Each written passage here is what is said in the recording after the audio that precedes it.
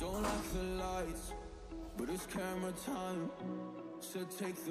मेरे पास है एक सैमसंग की ऑनलोड वॉशिंग मशीन छः किलो का। इसका जो प्रॉब्लम है जब भी मैं इस मशीन को स्टार्ट करता हूँ अब इस वॉशिंग मशीन का जो मोटर का जो बेल है ये गिरता है। हम इसको देखेंगे आप लोग इस वीडियो को एंड तक देखते जाओ। आप लोग देख सकते हो इसका जो मोटर का जो बेल है ये गिर गया है। इस प्रॉब्लम के लिए आप लोगों को फ़र्स्ट टाइम देखना है इस वॉशिंग मशीन का जो मोटर है, ये देखना है। आप लोगों को इस वॉशिंग मशीन का जो मोटर थोड़ा डाउन डाउन होने से भी ऐसा प्रॉब्लम हो सकता है। आप लोग इस वीडियो को एंड तक देखते जाओ और चैनल पर नया है तो चैनल को सब्सक्राइब करना है डेली मेरे वीडियो देखने के लिए।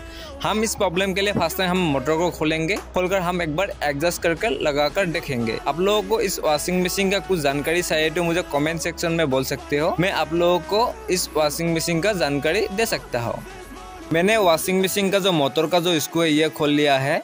अभी हम लगाएँगे, फिर से इस मोटर को लगाकर एक बार बेल लगाकर चलाकर देखेंगे।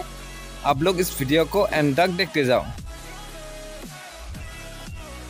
आप लोग देख सकते हो मैं फिर से जो वॉशिंग मशीन का जो मोटर है, यह लगा लिया है।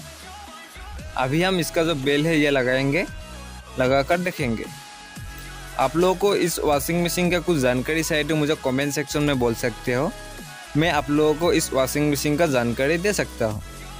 मैंने बेल भी लगा लिया है और वॉशिंग मशीन का जो मोटर का जो स्क्रू है ये भी लगा लिया है। अभी हम इसको स्टार्ट करेंगे। स्टार्ट कर कर देखेंगे। इसका जो बेल का जो समस्या है, ये ठीक हुआ है, नहीं हुआ है, हम देखेंगे। आप लोग देख सकते हो इस जो वॉशिंग मशीन का जो बेल का जो समस्या है, ये ठीक हो गया है। मतलब इस वॉशिंग मशीन का जो मोटर है, ये थोड़ा डाउन है। इसलिए इस वॉशिंग मशीन का जो बेल है, ये गिरता है।